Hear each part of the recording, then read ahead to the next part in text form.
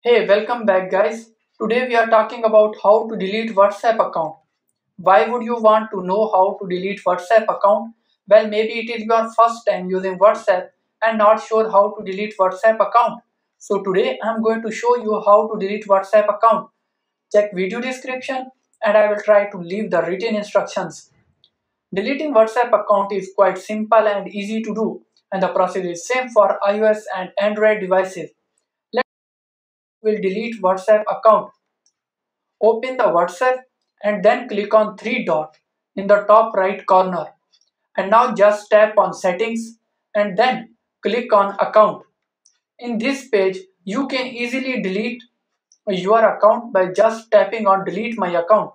Before deleting your account, you must know if you delete your account that will erase your message history, delete you from all of your WhatsApp group delete your Google Drive backup, now confirm your country code and enter your phone number and then tap on delete my account.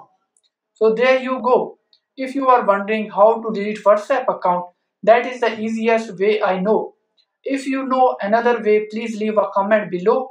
Be sure to subscribe for more videos.